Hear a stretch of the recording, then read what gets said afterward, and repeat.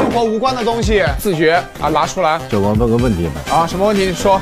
采耳工具不算。采耳工具，你你还过来采耳啊？这是属于他自己的小爱好了。没事给兄弟们采个耳。对对对对。这是什么呀？这个可能有的观众看不明白了，这叫修脚刀。那你会修吗？我会修。您来来。不不不不不不不要！一本书，爱看书，毕竟现在也当上九队队长了嘛，算是一个小领导。书的名字叫。